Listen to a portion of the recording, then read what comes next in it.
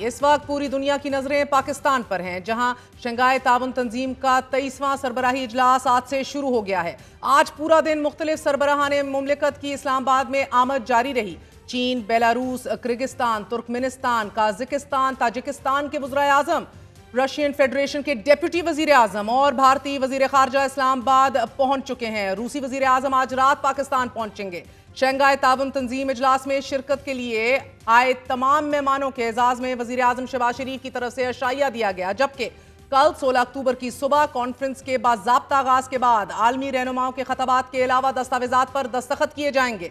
कल पाकिस्तान पहुँचने वाले चीनी वज़ीर आज़म ली चियांग को आज सदर पाकिस्तान आसिफ अली जरदारी की तरफ़ से जोराना दिया गया। सदर आसिफ अली जरदारी ने चीनी शहरियों की हलाकत पर ताजियत करते हुए कहा कि दिल खराश वाक्य पूरी कौम के लिए तकलीफ़ का बायस था।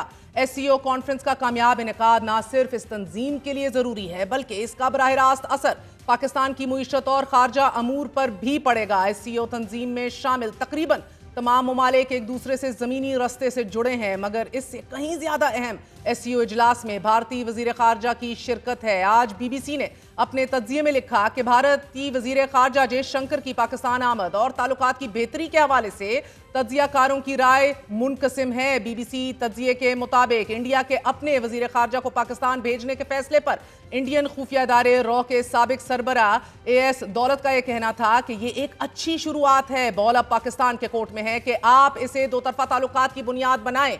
और इसी तरह अटलांटिक काउंसिल से मुंसलिक और बैटल ऑफ़ पाकिस्तान के मुसनफ शुजा नवाज़ का यह मानना है कि इंडिया और पाकिस्तान अगर अपने इकतसादी और तजारती मफादात को तरजीह दें तो दोनों ममालिक के दरमियान ताल्लुक बहाली की राह पर गामजन हो सकते हैं। शुजा नवाज़ का यह मजीद कहना है कि दो हमसायों के खराब ताल्लुक के सबब तरक्की के बहुत से मौाक ज़ाया हो रहे हैं। इंडिया को अपने मौकफ में तब्दीली लाकर साख ममालिक की तंजीम को मज़बूत करना होगा और सरहद पार मुहिम जोई का वक्त अब ख़त्म होना चाहिए। इसी तरह इंडिया स्टडीज़ सेंटर के डायरेक्टर डॉक्टर खुरम अब्बास का यह मानना है कि जयशंकर का अपना अंदाज गुफ्तगु पाकिस्तान के मामले पर बहुत जारहाना है। इंडिया महसूस करता है कि पाकिस्तान के साथ अगर ताल्लुक ठीक ना भी हों तो इसकी बैन अवी तौर पर या खत्े में जो हैसियत है, जो पोजिशन है, इस पर कोई फ़र्क नहीं पड़ेगा।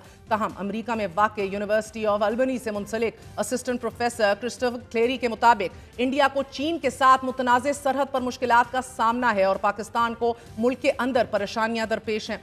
दोनों ममालिक के दरमियान कशीदा ताल्लुक दोनों की ही तवज्जो बड़े चैलेंजेस से हटाने का बायस बन रहे हैं और सिर्फ़ इसी वजह के सबब दोनों ममालिक मायने खेज, सफारती मुजाकर दोबारा शुरू करने की राह निकाल लेंगे।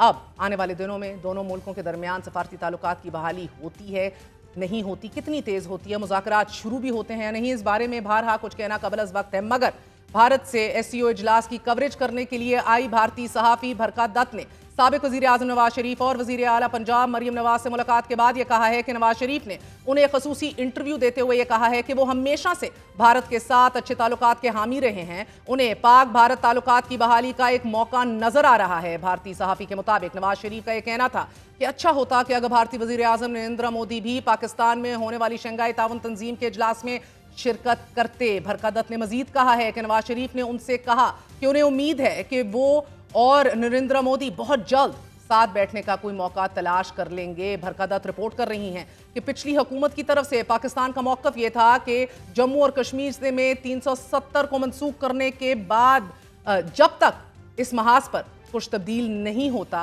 बातचीत दोबारा शुरू नहीं करेंगे। लेकिन नवाज़ शरीफ ने किसी भी किस्म की पेशगी शर्त के तौर पर इसका हवाला नहीं दिया है, बल्कि वो इस उम्मीद का इजहार कर रहे हैं कि उनकी ख्वाहिश है कि वज़ीर आज़म मोदी यहाँ होते। नाजरीन, नवाज़ शरीफ की तरफ़ से ख्वाहिशात का इजहार एक ऐसे वक्त में हो रहा है कि जब भारत की जानब से कश्मीर के स्पेशल स्टेटस के खात्मे को तीन साल से जायद का अरसा गुजर चुका है। नरेंद्र मोदी और उनकी जमात बीजेपी कश्मीर के हालिया इलेक्शन में भी पाकिस्तान मुखालिफ कैंपेन कर चुकी है और इस सबसे बढ़कर ये कि चीफ अवामी स्टाफ जनरल आसिम मुनीर कश्मीर मामले पर एक वाज मौकफ रखते हैं। रवा साल दो मई को रिसालपुर में पाकिस्तान एयरफोर्स की पासिंग आउट परेड में खताब करते हुए चीफ अवामी साहब का कहना था कि इंडिया ने कश्मीर पर नाजायज कब्जा कर रखा है। कश्मीर में जारी इंडियन जारियत पर पूरी दुनिया की खामोशी, वहाँ गूंजने वाली आज़ादी की आवाज़ को दबा नहीं सकती।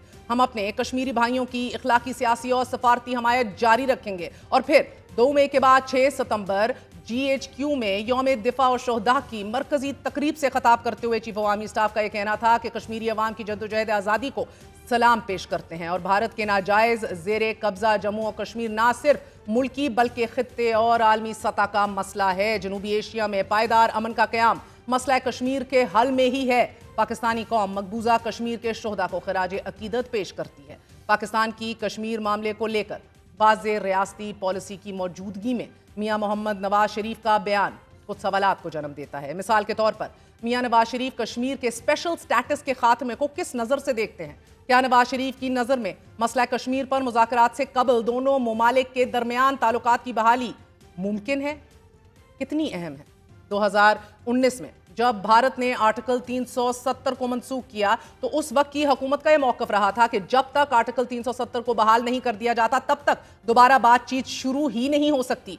क्या मौजूदा हुकूमत इस मौकफ से पीछे हट गई है? मुजाकरात और बातचीत की दोबारा शुरुआत से कबल मियाँ नवाज़ शरीफ की जानब से कोई पेशगी शर्त आयद क्यों नहीं की गई? और सबसे अहम तरीन सवाल, क्या नवाज़ शरीफ की नज़र में दो रियासतों के दरमियान ताल्लुक से ज़्यादा अहमियत, दो शख्सियात के दरमियान ताल्लुक को हासिल है? ये वो चंद सवाल हैं कि जिन पर मुस्लिम लीग नवाज़ नवाज़ शरीफ और तर्जुमान दफ्तर खारजा को मौका अवाम के सामने रखना लाजमी है।